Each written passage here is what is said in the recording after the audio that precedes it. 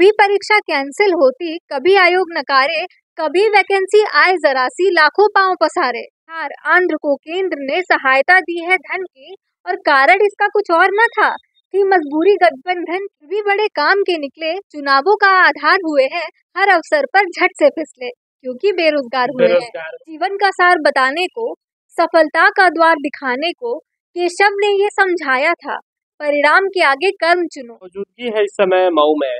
और हमारे साथ हैं मऊ जनपद की उभरती हुई कवित्री ट्विंकल दुबे। जी हाँ इनकी कुछ कविताएँ हैं जो आजकल सोशल मीडिया पे वायरल हो गई हैं। सबसे पहले तो मऊ तक न्यूज़ में आपका स्वागत है। बहुत बहुत धन्यवाद। बहुत बहुत धन्यवाद कि आपने मुझे ये मौका दिया मुझे इस लायक समझा। तो मैं इसकी आभारी हूँ। आपकी कई ऐसी कविताएँ हैं जो सोशल मीडिया पे इस समय वायरल हैं। और आपके लोग सुन भी रहे हैं पसंद भी कर रहे हैं। इस समय बेरोजगारी है एक मुद्दा है बड़ा मुद्दा है ये। बजट आया है वो भी एक बड़ा मुद्दा है। तो बेरोजगारी पर अगर कुछ लिखा हो आपने तो आप हमारे श्रोताओं को सुनाएँ। जी जी बेरोजगारी क्योंकि आपसे बेहतर बेरोजगारी को कोई समझ भी नहीं सकता है। और मुझे लगता है कि अगर आप लिखती हैं तो इतना बेहतर मुझे लगता है कि अगर कोई लेखक बेरोजगार हो और ऊपर से वो कुछ लिखना जानता हो तो मुझे लगता है कि वो बेहतर लिखेगा। जी जी जी तो। आपने अगर कुछ लिखा है तो ज़रूर सुना। जी मैंने लिखा है नाथूलाल ने बीएड करके कितने छापे मारे मास दुमास परीक्षा दी निरुद्यम रहे बेचारे।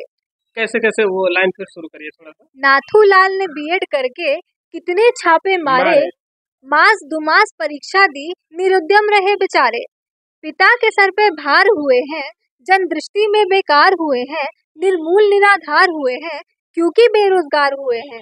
कभी परीक्षा कैंसिल होती, कभी आयोग नकारे, कभी परीक्षा कैंसिल होती, कभी आयोग नकारे, कभी वैकेंसी आए जरा सी लाखों पाँव पसारे। रहे कामना धन वैभव की, सर पर असंख्य उधार हुए हैं। सत्ता में जो कभी ना आए, ऐसी अशक्त सरकार हुए हैं। विवाह योग भी हो ना पाए, अट्ठाईस अब की बार हुए हैं। इस लाइन को थोड़ा सा सुनाइएगा।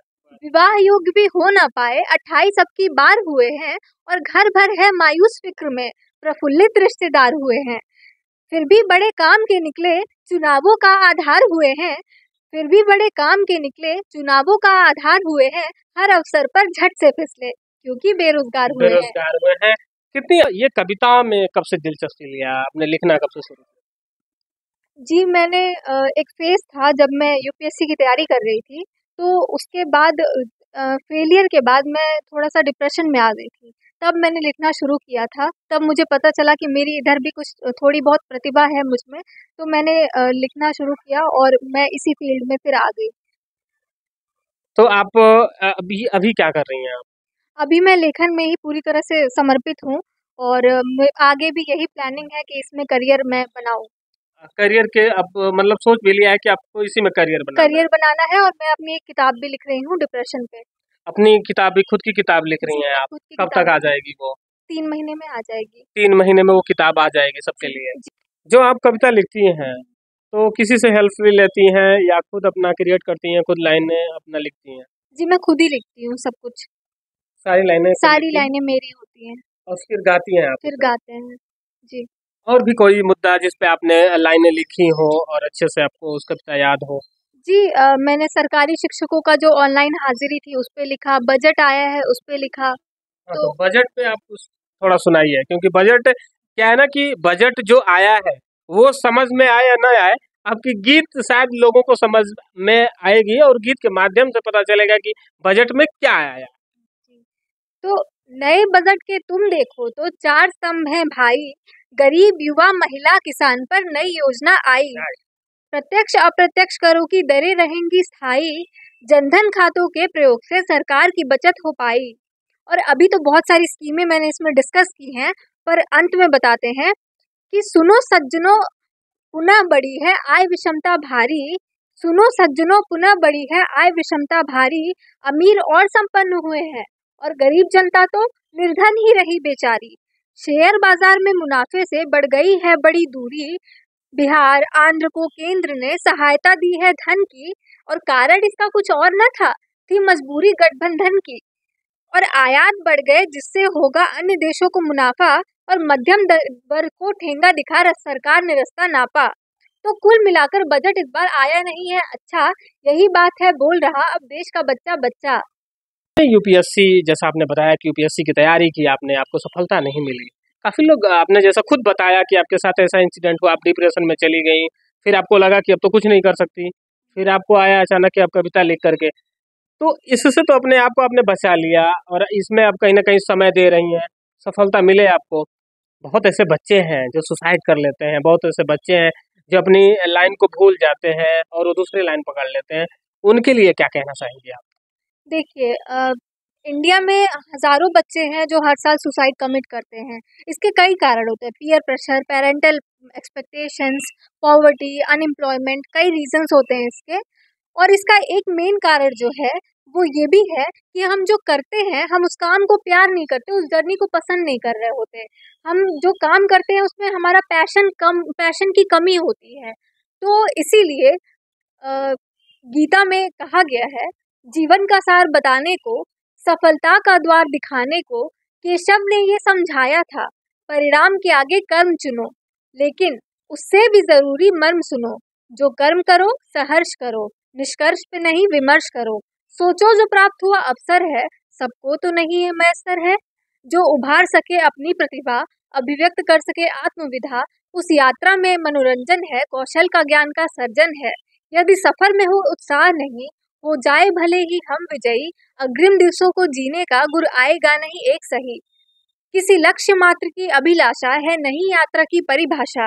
अपितु मार्ग में जो प्रदर्शन हो, जिस विधि कार्य संपादन हो, प्रतिभा विवेक का स्पंदन हो, करता है व्यक्ति को सुदृढ़ वही है जीवन लक्ष्य का भेद यही। तो मेरा यही मैसेज है, आजकल के सभी बच्चों को जो सुसाइड कमिट करना चाहते हैं या इसके बारे में थोड़ा भी सोच रहे होते हैं। क्या लगा आपको? आपने यूपीएससी की तैयारी बताया और अब तो फैमिली के बारे में बताया आपके घर में कौन कौन है और वो लोग क्या करते हैं? जी मेरे घर में मम्मी पापा भाई बहन है। मम्मी पापा सरकारी स्कूल में शिक्षक हैं और बहन मेरी पीसीएस की तैयारी करती है और भाई मेरा क्रिकेट एकेडमी में प्रैक्टिस कर रहा है। मम्मी टीचर है पापा भी टीचर हैं वो लोग ये नहीं बोलते बेटा और कुछ कर लो क्या ये कविता लिखती रहती है और आ, क्या ये जी मम्मी तो कभी कभी कहती हैं पापा मेरा बहुत ज़्यादा सपोर्ट करते हैं इसमें। पापा मेरे बहुत सपोर्ट करते हैं। पापा कुछ नहीं बोलते बोलते हाँ ठीक है। वो मैं उनको जो कहते हैं कि जो करना है वो करो बेटा। बट ऐसे बहुत बच्चे हैं और ऐसे बहुत फैमिली हैं जिन पे काफ़ी प्रेशर है आज के डेट में। नहीं तुम्हें यही करना है तुम्हें इंजीनियर ही बनना है तुम्हें अधिकारी ही बनना है। तो उस सिचुएशन में उन बच्चों को क्या करना चाहिए सच में? देखिए मेरी मम्मी ने मेरे पे बहुत प्रेशर बनाया कि तुम सरकारी नौकरी करो क्योंकि इससे रोजी रोटी नहीं चले। तो आ, मैंने मुझे भी एक पल के लिए लगा था कि नहीं मुझे सरकारी नौकरी करनी चाहिए। लेकिन मैं सभी बच्चों को कहना चाहूँगी कि उसी उसी क्षेत्र में आगे बढ़े जिसमें आपका मन हो और जिसमें आपकी प्रतिभा हो सच में। तभी तो आप बहुत ज़्यादा आगे जाएँगे मेरी इस बात पे विश्वास करिए। आप बहुत ज़्यादा आगे बढ़ेंगे और आप जीवन में खुश भी रहेंगे। संतुष्ट भी रहेंगे और संतुष्टि से बड़ा कोई धन नहीं। तो ये थी जनपद की बिटिया, ट्विंकल दुबे, जिनकी कविताओं को आपने सुना, ये यूपीएससी की तैयारी की, वहाँ पे उनको सफलता नहीं मिली। ये कुछ दिनों तक डिप्रेशन में रही, उसके बाद इन्होंने वापसी की और इनके अंदर जो एक हुनर था, ये लिख सकती थी और लिखना और फिर उसे गाना। आप खुद सोच सकते हैं कि किसी कविता को लिखना इतना आसान नहीं होता क्योंकि बहुत सारे शब्द इकट्ठा करने पड़ते हैं और तब जाके कविता तैयार होती है। और उन्होंने बताया कि अब इसी क्षेत्र में ये मेहनत कर रही हैं और ये बता भी रही हैं कि मेहनत इस तरह से कर रही हैं कि एक दिन ये मेहनत रंग लाएगी। अब हमारे श्रोताओं को, ट्विंकल जी की गीत कैसी लगी? इनकी रचना कैसी लगी? आप लोग कमेंट करके ज़रूर बताइएगा। और हाँ इस, इनकी कविता को आप लोग ज़्यादा से ज़्यादा शेयर करिएगा, ज़्यादा से ज़्यादा लाइक करिएगा ताकि ज़्यादा से ज़्यादा लोग इनकी कविता को सुन सके और इन्हें हौसला मिल सके। बाकी आप देखते रहिए मऊ तक न्यूज़ और मैं ऐसे जनपद के सभी होनहार और सभी ऐसे जो लोग क्रिएटर हैं, जो कुछ अच्छा करना चाहते हैं, मैं मऊ तक न्यूज़ के माध्यम से उनसे मिलते रहेंगे और आपसे रूबरू कराते रहेंगे। बाकी आप देखते रहिए मऊ तक न्यूज़। मैं हूँ संजय। नमस्कार।